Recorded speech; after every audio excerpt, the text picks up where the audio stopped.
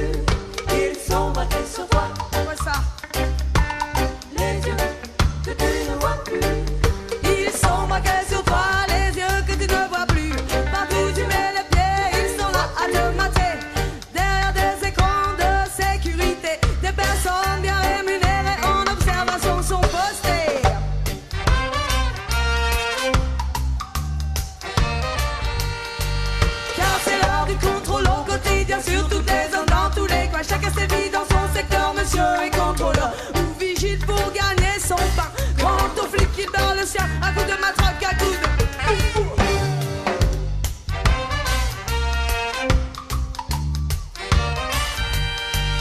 À travers les vitres, des écrans multipliés. Oh,